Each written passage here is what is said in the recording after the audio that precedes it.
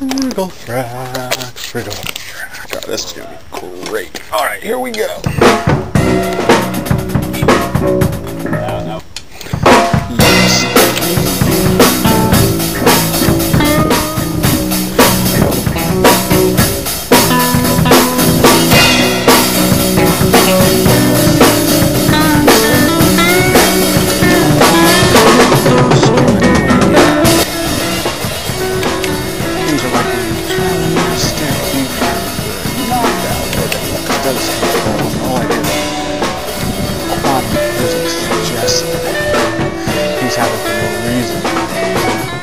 Is not really it presents the idea that contradictory things can occur simultaneously.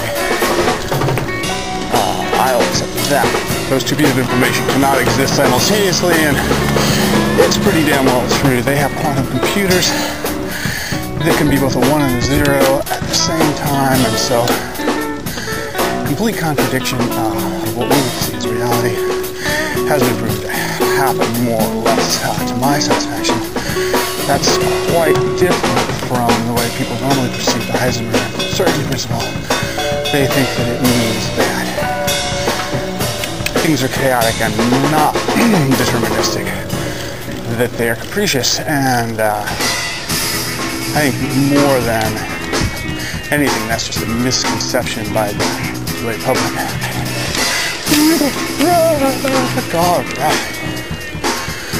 Now my neighbors good at the gun strange. Yes, indeed. All right, and so Why, yes, indeed. God, I am tempted. Can I just barrel through this? I think I can. Wriggle. Is it a black and white difference or is it a gradation? And if it's a gradation, and consciousness becomes less and less what we would think of as consciousness as you move farther toward a more simple device, I mean, is a is a bee conscious? Is a beehive conscious? That's very much likely to be the case. They actually apparently can think amazingly well and solve all kinds of puzzles and, and make decisions and crazy stuff. Bees can. Uh, and so where does it end? Where does it stop? Where does it end? Where does it end?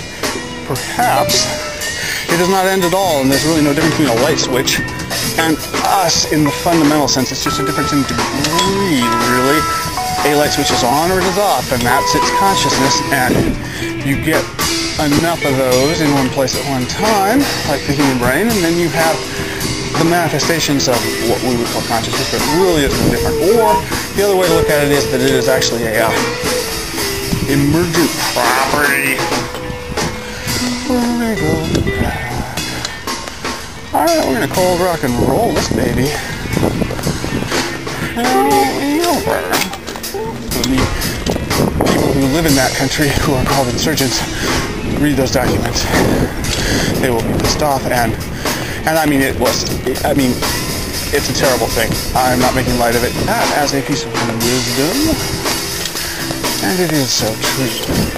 Get what you want to get when you want it because it was every bit as bad as something of that bourgeois nature get, right? Ah. Uh, get what you want to get when you want it because when you can get it, be too late. That's something that either we, I guess my dad taught me that, I would assume. Success now much, in fact, higher. But I don't want anymore. It's just like my dad wanted an MG or something, some cool car, and he didn't get it when he could afford it. Ah, here's my friend Aaron. Good fellow, my friend indeed. Ah, I do have to say that I'm very happy on this particular day because of this occasion. What's up, guy? Crash and Did you see that? Stop me. Just did a me.